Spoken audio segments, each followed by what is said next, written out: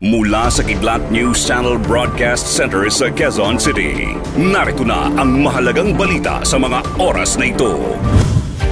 Kidlat News Updates. Buong Pilipinas ngayon ay nakaabang. Halina't samahan kami upang alamin ang mga balitang ating kailangan. Ako po si Cesar Soriano, kasama ang buong puwersa ng Kidlat News Channel para ihatid ang mga nangungunang balita sa buong kapuluan ngayon. Inanunsyo ni US President Joe Biden ang isang bilyong dolyar na security help para sa bansang Ukraine. Kasabay nito ang pag-utos niya ng dagdag na deployment ng mga armas at iba pang makabagong kagamitan bilang suporta sa naturang bansa. Kabilang sa matatanggap ng Ukraine ang nasa 800 anti-aircraft systems, siyam na libong anti-tank weapons at libo-libong light weapons kasama na ang mga bala.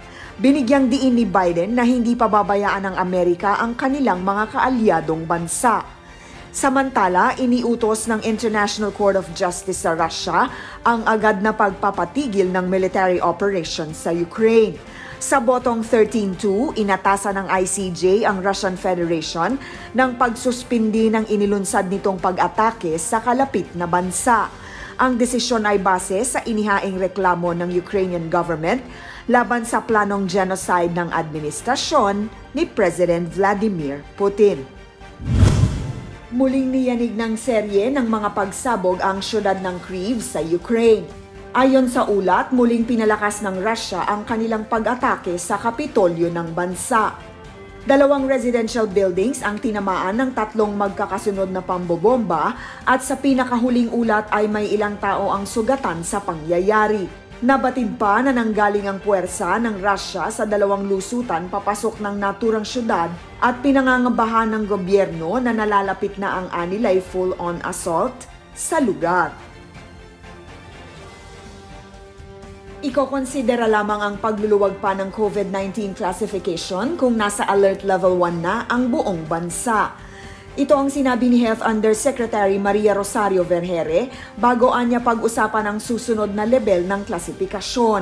Sa gitna na rin ito ng kahilingan na ibaba sa Alert Level 0 ang Metro Manila kasunod ng pagbaba ng kaso ng COVID-19. Nilinaw ni Vergere na ang Alert Level 0 ay wala sa klasifikasyon ng Interagency Task Force at ginagamit lamang upang mailarawan ang sitwasyon.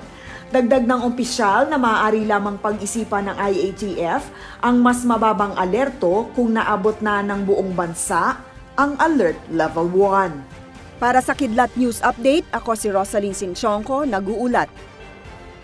Mabulig, mabulig! Sa madugong kinahantungan ng kaliwat kanang sigalot sa pagitan ng gobyerno at mga rebelde, paano ito nakaapekto sa hangad na pangmatagalang kapayapaan? hindi yan makataong gawain. Gawain talaga ng terorista yan. Wala nang kausa. Ang gobyerno ngayon nakafocus na sa tunay na serbisyo. Sa patuloy na paglalakbay sa Eastern Samar, saksihan ang sitwasyong pangseguridad at pangkaunlaran ng Bayan ng Hipapad. How can you expect magulong uh, area na magkakaroon ng mga investments? Mula sa mga engkwentrong nagpadanak ng dugo hanggang saan sila dadalhin ng mga yapak upang takasan ang peligro.